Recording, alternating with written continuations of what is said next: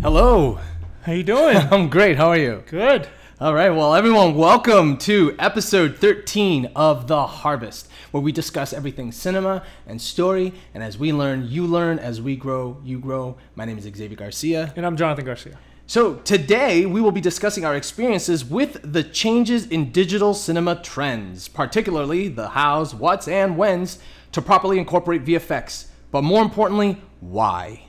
Why it should or shouldn't be used in your indie film projects. We'll talk about authenticity in your storytelling, as well as exploring industry advancements and groundbreaking examples of VFX in specific films across genres. You ready for this? Yeah, sounds fun. All right, let's do it. So, first and foremost, Jonathan, because we're talking about VFX, and I, you know, kind of our resident VFX expert, uh, having yourself been a VFX, um, you know, director and, Sure. and you know, producer, and yourself involved in a lot of VFX editing, can you just give us kind of like a brief understanding of VFX, so that as we talk about it, people will have some sort of a baseline to know, okay, what are these guys, you know, getting into? here? Sure. So VFX, uh, short for visual effects, um, and it's basically uh, manipulating or creating imagery, um, uh, you know, and splicing that into a live shot. You know, either in the back or just recreating it outside of a live shot. and it doesn't limit it to just, for example, architecture. It could be nat nature environments. Right. It could be you know set extension. Yeah. It could be people, animals. I mean, it's just Right. I manipulating. mean, image. VFX extends as far as CGI, which is computer generated images, and um, you know it could be 2D, 3D. Um, you know, there's uh, different types of styles for visual effects. Um, it's it's a big world. It's Yeah, a it whole other world outside of just live action. It is huge. So how does one begin entering into that world? Yeah, I mean, um, you know, it it you have to have the passion Yeah. for that um, because it's uh, you're literally behind a computer your whole you life. live it. You live back there. Yeah, um, and you got to love it. Uh, you know, obviously there are great schools uh, that offer great programs for Yeah. visual effects.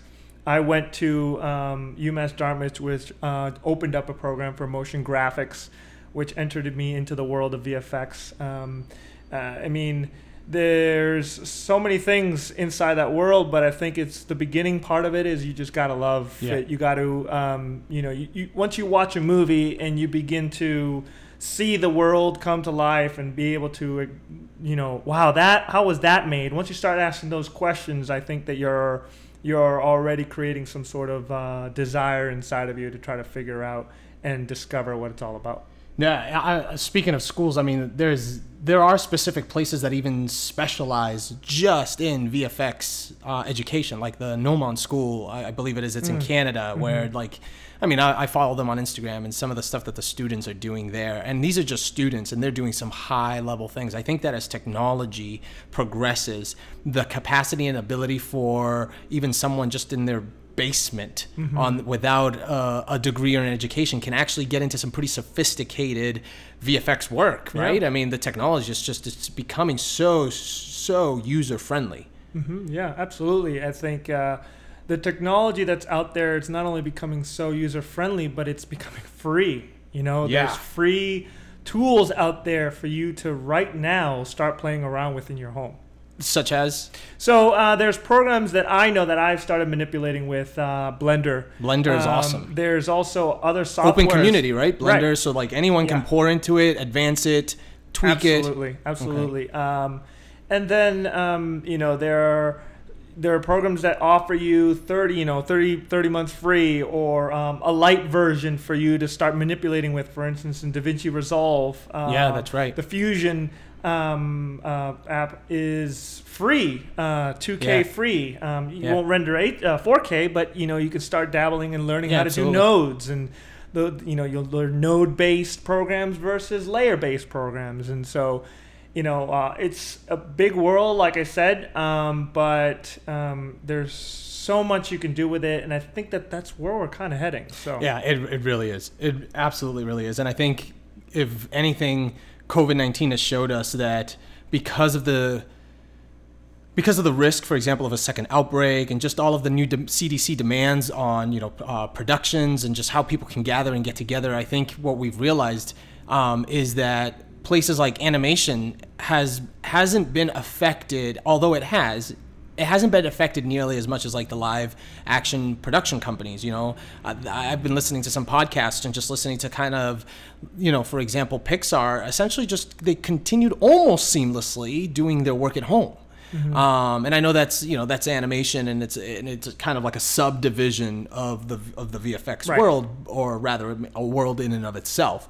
Um, nevertheless, you know just the ability to create story by manipulating all aspects of what is visual just on your computer is a growing trend. It is becoming easier. It is becoming more available, more accessible, and you can tell some great stories just, you know, by okay, one person alone in the woods, you know, I mean, I'm thinking I am legend, you know, and like and now you've got VFX available to you. You can add all of the dynamic conflicts against that protagonist that you want and actually have a compelling story because you now have these tools tools that make you know for example like if you want it to be a man, man against nature right. you can do that you can do that mm-hmm. with vfx um, I, I'm, I'm wowed i'm floored by what is what is possible yeah i think we're at a time right now where vfx is kind of pushing the envelope where we're going as far as, and we discussed this, yeah, talking about, episodes, um, yeah. you know, using the uh, the likeness of individuals, but not only just using the likeness of people, um, but also able to splice different faces on people. Uh, oh yeah, which is just a whole nother yeah. crazy world of, of VFX, which is called deep fake. Yeah, the deep fake stuff is creepy, man. Yeah, it is. It's it's it's it's dangerous. It it's is. very dangerous. It is. Um, I was watching, like, remember you and I had an argument not too long ago about Tom Cruise yeah. yes. I'm like, this is Tom Cruise. You're like, it's not Tom Cruise, bro. Look at the like, look at the idiosyncrasies. And I'm like, it is, it is. This right. is him. Yeah. And I was so convinced. Like, you could easily just throw anyone. Like, you know, God forbid someone's like, oh, President of the United States, press a nuke. It's his face. You know, like. Yeah. Well, I knew, I knew we were into something when Snickers created a commercial and they did the Brady Bunch, and they recreated the oh, Brady Bunch. Yeah, with Danny and, Trejo. Yeah, and oh no, no, I'm thinking yeah, of the. No, you're is right. that the one? Yeah, where Danny Trejo comes out and and says an and he slams an axe onto the uh, onto the table. Yeah.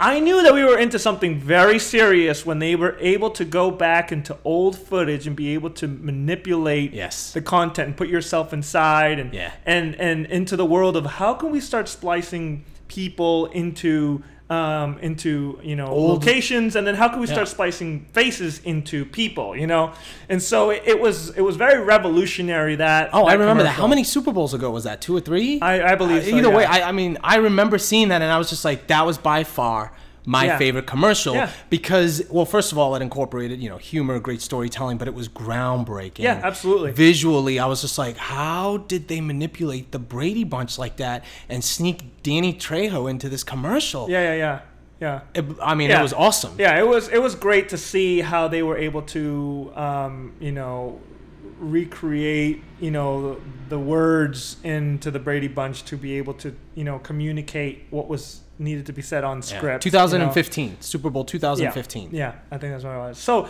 I know we were into something then, um, and it was just only going to get faster and also become less expensive. Yes, and that's that's a big deal. So all right, now we're talking about VFX. We're talking about the the the expenditure and what it costs before we jump into like numbers and whatnot, right. let's talk a little bit about how we've been able to create a VFX group in order to specifically handle some of the more low grade demands mm-hmm. of the films that we've been creating because there are ways around although VFX is inherently an extremely expensive world it's just look it's it's time yeah. it's technology it's storage I mean all of that just costs tons of money but there are ways such as sure. him. Yeah. If you could give a little bit of background about like the the need for him, like what what is the you yeah. Know, so the, the when we there. um when we jumped into one of our films, just like uh, George Lucas, you know, you realize that you kind of need to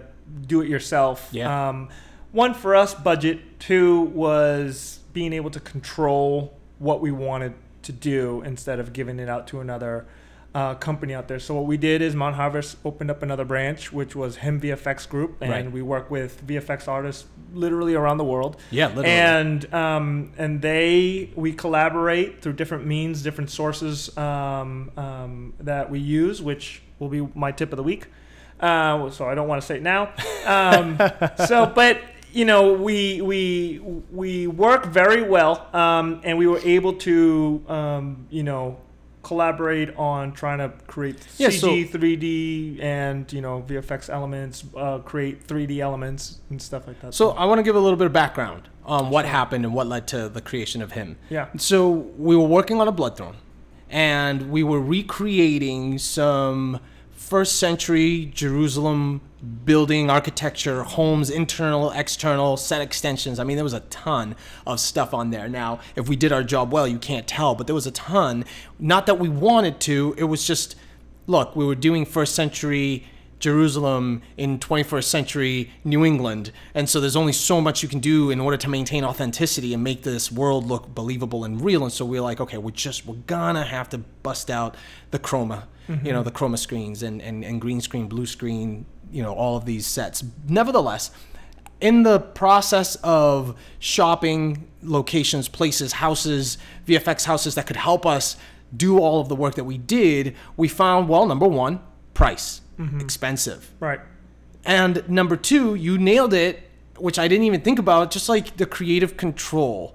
Um, which is precisely why George Lucas launched ILM, you know, as he's thinking about all of the VFX that needed to go into Star Wars. Yeah. It's like he wanted it to be a very specific. He was the way. only one who had the the, mind, vision in yeah, the the vision, exactly. It had it all in the mind. So for him to be able to get that and give it to someone else was going to be very difficult. Right. And so we were like, okay, how do we communicate?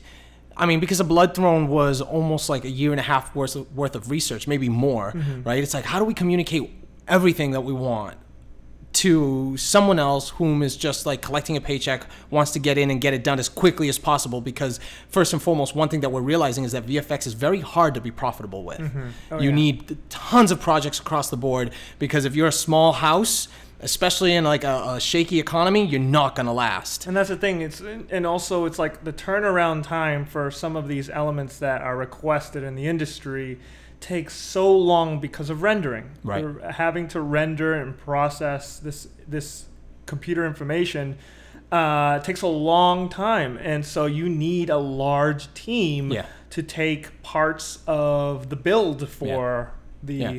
3D content. And because of time, time equals money, and Yeah. it, it just becomes expensive. And so we realized, well, f- first and foremost, these groups that we were reaching out to, amazing, amazing companies, you know, out of Atlanta, out of LA, um, were phenomenal with us, being as fair as they possibly could, understanding like the the project, the the scope of the project, the size.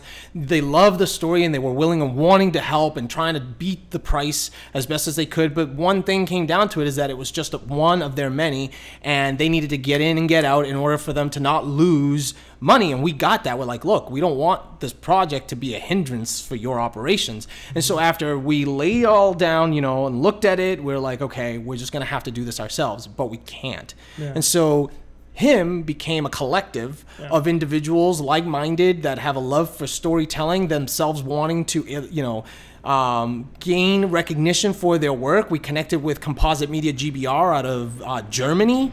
Um, and we worked with germany. We were working with puerto rico you know. We were working like literally across the world building a network of vfx artists in new england and all you know across the the atlantic right. in order to build the a blood throne world. Right, and that's the great thing about him is, um, you know, it's uh, it gives an opportunity for freelancers to come in per project and really um, join the team to try to produce a project. Whereas, you know, a lot of these big um, VFX companies, you know, they work with their guys, and that's their team because they know how to communicate what they want and. And the pipeline is very difficult to try to process. The Yeah. pipeline being how to work with one another from different levels of transferring content um, to different programs, how, which ones work with each other, um, files, you know, like textures, models, uh, simulations. Um, there's different types of things that go inside. Let's put it this way: as you see so many departments inside of a film production, you have so many departments inside. Yeah, uh, tons. VFX department. tons tons and it's because of that that oftentimes you know some of these vfx companies that that emerge are you know attached to like a series of films that are happening like for example you know ilm emerged because the star wars universe and countless of films that could have been that were going to be created. I mean, mm-hmm. George Lucas's brain behind this entire world with its own languages and its own race and its own people and all of that. yeah. He this was this company was not you know, it was being built with a long-term thought and approach in mind, and so it was because of that that it was it is sustainable. And now, well, now it's like it's the company that brought to us Star Wars, and so it has built such clout and has attracted the greatest minds in computer animation and graphics and design and all that. And so now they can afford to because they're the top um, to to sustain the amount of I mean, look, when you when you watch a film and you watch the film credits and you look when it gets to Yeah, the VFX right. department and you see like the seven columns, the eight columns across with like names that are tiny, you know, like eight font. Like I mean, obviously there's a there's a standard font, but like you see all these names just scrolling. All those people are paid, you know, full Yeah. salaries for the work. And then there's that amount in companies Right. of scrolling. Right. You know, it's just you know, you got this company and that company from this place and that place that all are involved inside the film. So, talking a couple of examples, right? Um, just going through my notes. The Jungle Book, the remake, the 2017 remake, that film was almost entirely created in a computer. Now, I don't know, I'm not 100% sure what the budget was for it, but I do know that it collected over $100 million in the box office, right? And it's opening, just in its opening weekend. So, with VFX, like measuring the pluses and the minuses, because it's a huge gamble Yeah. right? Pouring in money on a VFX in, into like a film from a VFX perspective, um, and then it like bombing. I mean, it takes a lot of money. Now, Jungle Book is a great example of like a success, right? I mean, 100 plus million on an opening weekend, but um, it can go drastically the other way. Yeah, I think it's you know you're you're you're weighing your risks and reward uh, when it comes to VFX, uh, your turnaround time, um, you know, budget, obviously. Um, but one of the things about Jungle Book, one of the things that they brought into the table, and other and other films like Oblivion and Gravity, they work with a system called uh, image projection. I believe I'm saying Yep, it right. yep, yep, yep, yep. And, it- and basically, what it is, it's you know, it's a big screen. uh, which is uh, awesome. I think that I love that. yeah, I love that. Yeah, because you know you're actually putting the world already while the actors are there. In Let's the talk a little bit about that because that's VFX. Um, all that is VFX. Yeah, it's yeah. VFX. You're Sure. you're bringing because w- what is on the projection? Like, let's talk about Oblivion for a second, which personally, from a visual perspective, is one of my favorite movies because just visually it was beautiful. Mm-hmm. You know, the when they're in their home. And that whole sky and all that's happening, that's just a huge projection, all 360 all around them. Yeah, Now they were placed inside this set, practical, glass made beautifully, interiors, right? With this VFX world on the outside. What that does for the actor is it's so and I, you know, and I'm talking even from like an actor's perspective, it's so helpful. Than if you're looking out there and it's just like this bright green that you're staring at. Yeah. uh, it's just. I Well, feel you- like it just adds to the authenticity. It's awesome because you.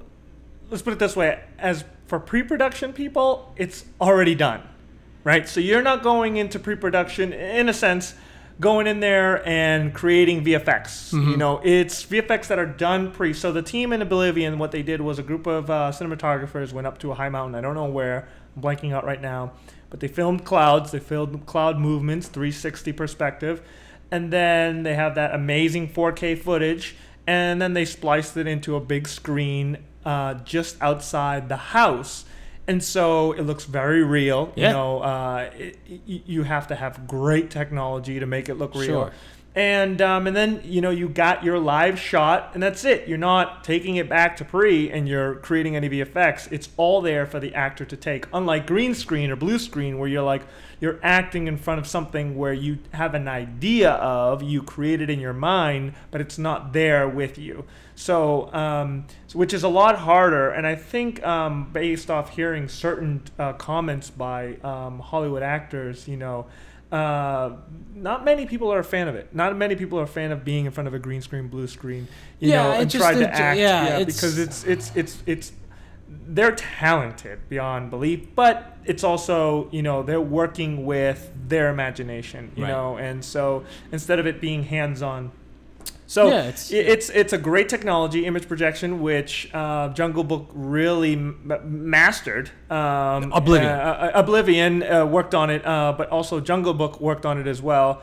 And um, and Gravity did an awesome Gravity, job, yes, which Gravity got an for Oscar sure. for that. Um, Yes. where you know um, Sandra Bullock really did an awesome job performing. In front and of it. but see that like that Oscar and look I could be wrong but I I feel like because she was immersed in the environment and they gave her the visuals to work with it's as close to practical as you can get I mean she was as close to being in space as you can get and therefore her acting inside this visual breathtaking world was phenomenal. I just feel like there's something to be said about the um, taking VFX and making it as flawlessly integrated into your film as possible. You know, even like for example with the projection, it is almost like just taking practical a step further.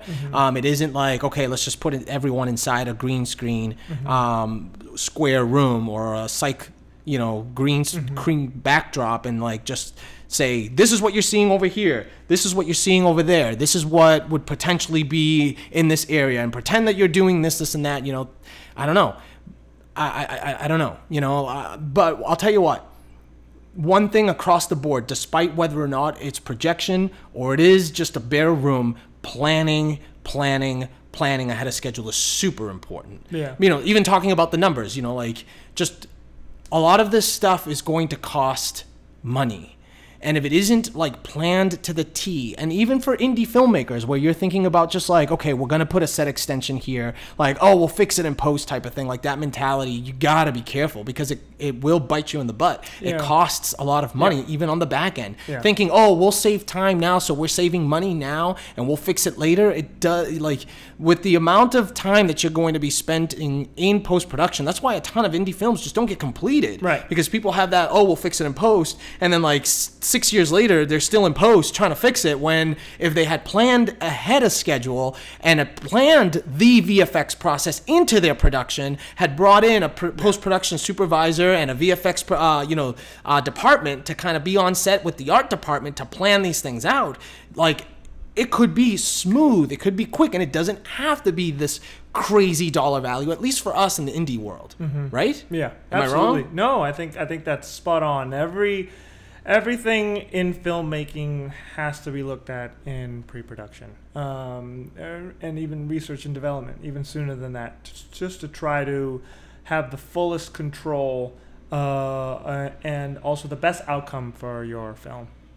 Now, what is happening as a result of changing trends in cinema is um, I don't know if you guys have seen it. I don't know if you've had a chance to check it out yet, but Unreal Engine um, has just launched their. I mean, it is breathtaking. Mhm. I don't know if you've seen some of the like the game footage. Yeah. And uh, I I mean, it's it's it's almost it's not quite photorealistic yet. I mean, they call it photorealism because that's the closest to like real that you can. But like when you look at it, there's still certain elements, certain things like Yeah. gravity. Just gravity hasn't been figured Right. out yet. Gravity, skin, skin tones. Um, you know, I, I know ILM has done a phenomenal job with skin tones, but still, um, There's still a the- plasticky the, feel stretching of it. the skin. Yeah. Um, you know, uh, the details, the pores, the hairs. Uh, that stuff is still yet you you can still tell, um, especially in video games, you could still tell that it's it hasn't you know eh, the hairs you have to differentiate between you know that you got to scatter the hairs and how they scatter is too you can see the patterns Yeah. and you know, it, it you, there isn't. Uh, um, you know the uniqueness of fine you know hairs that you know yeah that, and that and, and even the like how environment affects that those types of movements Right, you know exactly. like whether it's the subtle winds or i mean gravity in and of itself you know like just how it falls how Yeah, things yeah, fall the how physics things, of everything the physics out yeah there, that's still but i'm but i mean man like unreal engine what the capacity that that opens up for filmmakers being able to see 3D in real time. Mm-hmm. You know what I mean? Like there's a crew. So there's a there's a there's a person standing in a room in a green screen room and there's a crew holding the camera filming and as they are filming they are seeing the 3D world, the 3D environment already being projected into the camera. Right. So, um, so that's also some of the technology. I think Jungle Book. I, I, I might be getting some stuff confused, but I know that Jungle Book also used that technology uh, pretty on. So it was, uh, so they had a um, a a camera system um, where they would move, where some cinema uh, DP would move, and uh, it would react inside of the 3D world um, which obviously you know blew up into all these different areas into video game creation where you know unreal engine is picked up and you have people youtubers and you know industry professionals like uh, matt workman Yeah, right here, local, yeah cambridge. yeah from cambridge um, you know really exploring uh, that world because i believe it's definitely going to be something that is going to expand in the next few years he- i mean it's i mean it how no i mean the technology of you being able to manipulate you having you being able to be a dp in a 3d world is just so That's cool. crazy, Yeah. right? I mean, that that that it helps to be able to see it, you know, instead of saying, "Okay, let me use my mind's eye. I'm gonna shoot like this." It's like, no, you're seeing it as is. It's almost like the jump from film analog to you know, like what we're doing now, the digital world. Mm-hmm. You know, it's that I feel like it's it's gonna be that same type of jump where even now, like when you as a DP, I'm sure you've like as you're like training up um, camera ops and and potential cinematographers, talking to them about the basics of exposure and the basics of understanding, you know, like how the camera yeah. works. You know, like what is the aperture? What is- because sometimes people just put on that auto feature right? Or or like the camera just does so much for you or you're able to like with metadata you know manipulate so much of that in post that people don't even learn like the basics of like exposure of light of you know i mean even like uh, you know like having had i personally i you know i was i was so fortunate of having had the opportunity to actually develop film and work in a dark room and develop film and get a feel for like you know what different chemicals do and what is a bleach bypass and what a, you know so that when you're then coloring and in this 3D world, or rather in this digital world, like you're understanding where it comes from. I mean, even you yourself as a designer, you had to understand our history before they threw Right. you into a Yeah. computer Sure. in order to like go into design, right? Yeah. And so it's like we are slowly crossing the threshold with Unreal Engine where we're kind of like passing almost this uh, into this like new generation of, of filmmaking and of cinema and there's so much here that still needs to be learned i feel like Right. Technology is moving from- so fast Yeah, yeah. that we still haven't even learned everything that is Right. cap- cap- like that we're capable of doing with what we have now and we're already at like that next generation Yeah, everything that is developed in the future comes from that pre-created or, or past Sure, element. of You know, where that's you know why why do you need to be able to hold this thing to move around inside of a 3D world? Well, that's where the DPs, you know, their movement. You know, it's going to be interesting now starting to see, uh, you know, this very light um, camera uh, piece technology being strapped onto a Steadicam system for 3D world. You Yeah. know, like how are you gonna you know, some light balance. You don't really need, you know, Yeah. that to, to balance something so light. You know, so it's like you know, what are the new technologies of stabilization are they going to bring into you're the gonna 3D have world? to innovate because Yeah. the technology is so small and light that you know how do you stabilize that? You know, right So, and i mean look it's also it's also compartmentalizing some of the industry known positions like the dp is slowly getting split because the dp is no longer I mean, yes, he. Uh, I mean, I I don't know how things will develop down the road, but as of right now, the DP still has the final say when it comes to like how how is this. Well, the director does, but the DP is going to determine how is this backdrop going to be lit so that the the mood of you know the shot intended. the scene like yep. what's intended the character like what's happening you know um, but now you've got the the 3d artist you know, or or the the supervisor, you know, that is lighting that 3D world, that 3D background, mm-hmm. working with the DP because some of this technology, you know, with current standing DPs, like that technology is over their heads, and so they're mm-hmm. bringing in teams right. to work alongside with them yeah. to help them along well, the it's process. Great. It's creating more jobs. That's true. You know, in That's the industry, true. and um, it's it's you know creating more specialists in, yeah. in, in, in which is always good. departments yeah. Which is always good. Yeah. Um you know and I, and I, was i was actually really interested in seeing you know like as i was exploring some of unreal engine and just seeing you know matt workman involved and engaged in that you know from here. He's like yeah, down yeah, the street from us yeah. which is pretty cool. Um he having him like just watching his process of creating cinetracer yep. and seeing how yep. cinetracer can even be used as a previs program. Right um, well that's which, that's essentially what it is it, that's what he intended it to be is for uh, being able to as best as you can uh, create 3d elements that can be an expression of what your shot is going to be day of shoot. Yeah, and that's what it is. And that's and that goes back to one of our favorite pastimes, the planning, yeah. the planning process. Yeah. Um, and that is that is great because new tools are opening up for filmmakers right. to be able to do storytelling. Yeah, I mean, it doesn't get rid of certain tools, you know, like top-down shots where you're kind of showing uh, diagrams of where the camera is going to be and where the lights are going to be and how the the you know like some sort of like blueprint of the set. You know, it doesn't get rid of those older older tools. Um, it actually enhances um, your uh, creative process because now you're actually visually showing whether a client uh, or your director the scene, how it get lit, how the lights uh, are being used, um, how the walls can be painted. You can move around certain elements. You're re- literally creating the 3D scene uh, on the program, and yeah. it's really really cool. It is. Now, let's talk a little bit personal. You personally, because like we all have our own opinions. I mean, at the end of the day, we step back as filmmakers, we look at it and we say, you know what, innovation is great. Mm-hmm. Change is always good um, for me personally because it just it challenges us. It challenges us as filmmakers and storytellers to adapt to grow to become better. However are you the type of person that rather go practical or are you embracing the like all that vfx has to offer? If you had to choose if you had to make a choice one way or the other which way would you which that's tough. that's really tough. Um, you know I love the VFX world. Yeah. And nonetheless, if I can tell my story, um, uh, it would it, that would be number one. Whichever element helps me best tell my story. Yeah. Good. Um, Good answer. I think that you know, um, if no effects, then I'm sure the line producer will like that, you know.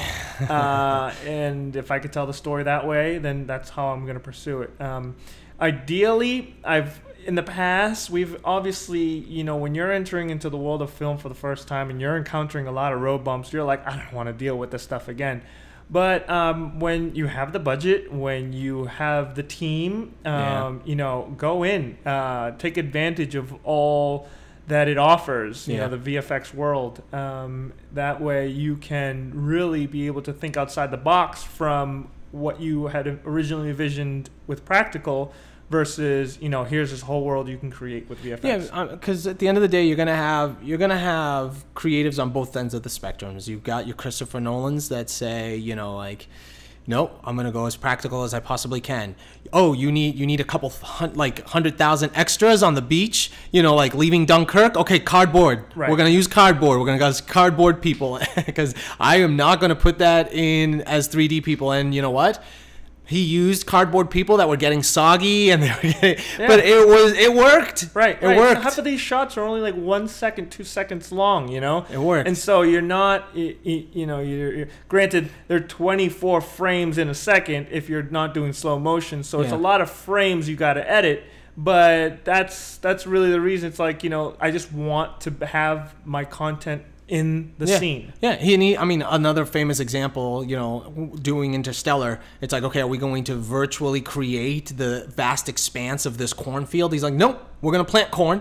We're going to grow hundreds of thousands of acres of corn. We're gonna drive the car through it, and when we're done, we're gonna sell the corn. And the film actually made a uh, they made a profit on that corn, which yeah. is crazy. Oh yeah, it's awesome. Yeah, this is brilliant. It's yeah, brilliant. it is. And you know what? I think I think you said it best, and I agree with you. I think look, there's always a tool for the job. Yeah. There's always a tool for the job, and sometimes you know, like the carpenter that's wielding around the hammer and the screwdriver and the nails and the screws may not want to use you know like that you know that digital technology, mm-hmm. you know, mm-hmm. like that next um, advancement in technology because they want to work with their hands, and you know sometimes we we become you know creatures of habit and like no we want, but whatever it takes yeah. to tell the story right. right. If you need a set extension, like for us, you know, first century AD Jerusalem, you know, like we're in New England. Mm-hmm. We need to, there's no architecture here that it, in any way, shape, or form is going to resemble the palaces of Masada, you know, back in the year, what was that, like 20 BCE?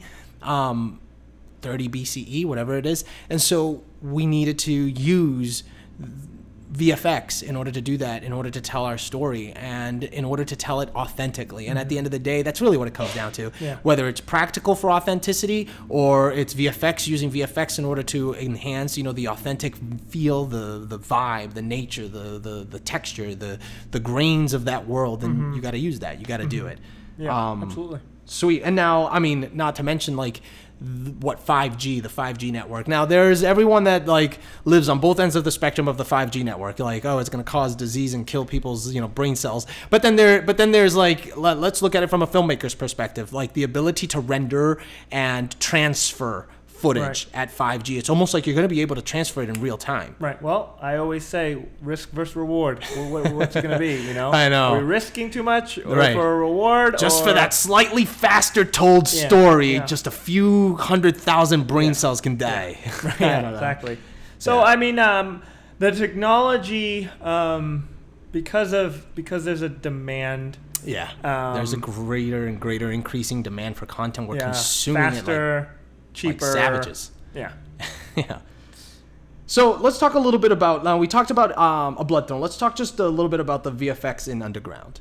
Tell me a little bit about you know the process, the idea behind um, the choices that were made, just so that we can you know con- you know talk a little bit concretely about just kind of using and exploring VFX in film in order to tell story. If you could just so, talk a little bit about. Um, so one of the things we realized over past projects, um, for instance, um, as far as um, Crossroad. Um, oh yeah, we, Let's start we did there. some we did some VFX work. Actually, we even did uh, some uh, uh, animation, but we scratched that. Um, um, and we because we, we, wanted to actually create the temple in the distance. Um, we wanted yeah. to also create a, a, city, a village a village, and um, it turned out nice. Um, it really did. Yeah, it turned. Out And that was uh, kind of like one of your first major narrative wor- works for VFX. I mean, you had done a lot of stuff for commercial stuff, but for narrative film, that was yeah. like the first time. But there, but you know, when you encounter those things for the first time, there are roadblocks. You know, Always. there are challenges. Um, and so when we're approaching, you know, Crossroad, then a under, uh, then uh, a Blood Throne, and then we arrive to Underground, we're like, listen we've experienced all these things. We've we have all of our bumps and bruises. They've been healed. So let's not go into a similar um, issue yeah. because obviously budget, uh, turnaround time, um, and a slew of other uh, concerns. We still knew that we needed to have an environment that was real to the time. So a really good element for people who are dabbling with graphics is learning uh, the set extension form of uh, CGI because it's um, one of the great things is uh, there's a lot of great software out there. I can name a whole bunch of them, but at the end of the day, um, you know, architecture is probably the easiest thing to add into your backgrounds, into your uh, into your uh, live action shots.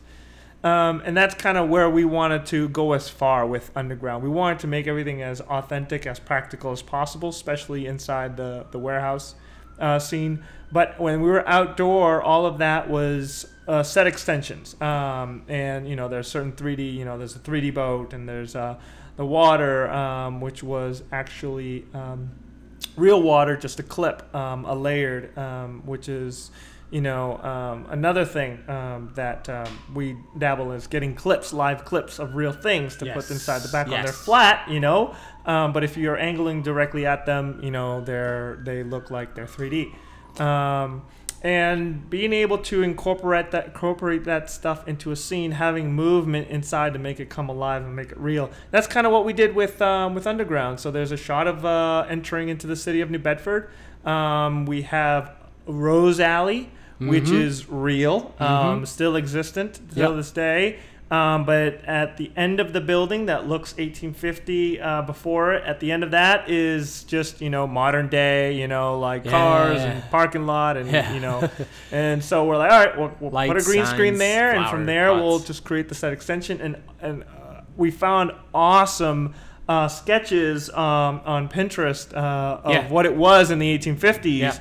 We're like, this is perfect. Let's add that as a set extension. Yeah. So we started modeling and 3D ing, and there we go. We have our, our scene. And the great thing is about set extensions is you have the elements inside the world to help you create those elements, those 3Ds. So you have, you know, the cobblestone floor, which you know you take pictures of, and you Yeah. you, Yeah, you get needed those that source textures. material. Exactly. You see how the light hits it, and you don't have to go crazy recreating it. You could just take those textures and bring them into your program, and then boom, you have you can continue on the street from there. So I feel like that set extension uh, is probably the easiest form of entering into the CGI world Yeah. for for uh, VFX. What are some tools that were helpful for you? Um, that you know, some things that you learned, that, you know, some tools that were helpful for you in order to make the the VFX work. Because look, Underground was actually edited really quickly in comparison to a Blood Throne. Yeah. Granted, a Blood Throne was like four times the, the length. You know, it's like a it was a originally a 45 minute film that we edited down. Um, but it was also a lot more hands on. You know, there were more workers in the post production office, you know, working on a Blood Throne. On Underground, it was very few, Mm-hmm. and it was quick. And although it's only a 10 minute film, I mean, it was a quick turnaround. So clearly, there was a learning curve there. You know, Yeah. there were some things, some tools that, and some individuals and people um, that were added to the team that helped that process. There were some things that were done in pre production, production, Right. and in post. Just one or two tips that could help you know anyone that wants to either get into it or they themselves want to get better at you know including Sure. VFX in their films. Yeah, um, in the past, I've talked about different channels on YouTube that will help you know what it entails to be a VFX artist on set. Um, but exactly that, uh, a, a, a, a VFX supervisor on set. super important. Um, Goodness. Be, having someone focused on uh, making sure that all the elements necessary for you to take this and post are available Yeah. um, is is accomplished. Yeah. you know, um, and I think that that's one of the things that we made sure. As long as we have a VFX supervisor, which I helped along with someone else, um, that we're able to kind of make sure, hey, I need this, this, this, this, this, this. this Yeah. Checklist is done. Um, you know, Yeah, so that, that that was was key. that was that was key because for Blood Throne, um, it was Uh, just you know yeah. DP and some crew members are just Yeah. like re- trying to remember what it was. What lens did you use? Uh, you know what was you know like, yeah, what was I the think focus? the script like, supervisor yeah. was, was all that help- stuff what, what got exactly. involved so, helping. And so, there's a lot. There's a major list of things uh, which I mentioned before. Hugo's Desk was a good help for me, which Yeah. is a YouTube channel guy who just kind of explains all the tools you need, all the all all The of your trinkets Yeah, and the- exactly, exactly. the Knowing gadgets. perfect gray and and reflections and equipment to use for HDR lighting, and I've talked about it that in tips before. Cool. Well, you know, if you have any other questions about VFX stuff, um, feel free at any point with any of the episodes that you have, just send those questions out to us, info at mountharvest.com, because, like, these are great discussion points, and oftentimes we begin things with a question and just kind of trail off into a topic. Sure. But that is it for our discussion. We are now at our creators' tip of the week.